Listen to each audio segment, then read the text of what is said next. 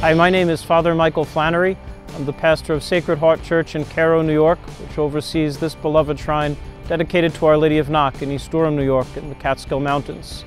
We're very happy because in this year of mercy, which our Holy Father, Pope Francis, he's given bishops throughout the world permission to designate places in their diocese, churches in their diocese as special places of pilgrimage. And so Our Lady of Knock Shrine in East Durham is one such place. And as a sign of this being a place of pilgrimage, we've designated one of the doors, the door behind me, a holy door.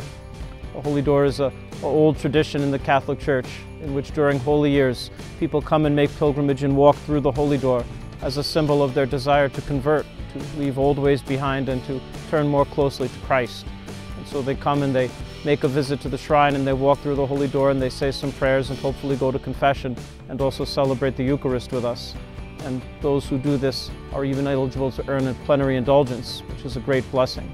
But most importantly, again, it's a sign of their desire to become holy, a desire to grow closer to Jesus. So we hope and pray during this holy year that many, many people will come and visit Our Lady of Knock Shrine in the heart of the Catskills.